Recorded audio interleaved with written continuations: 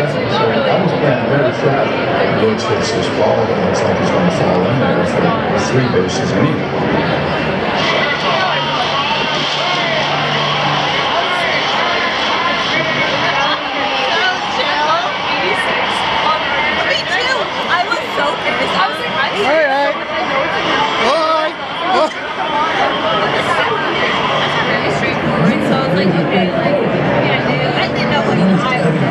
Big distance. When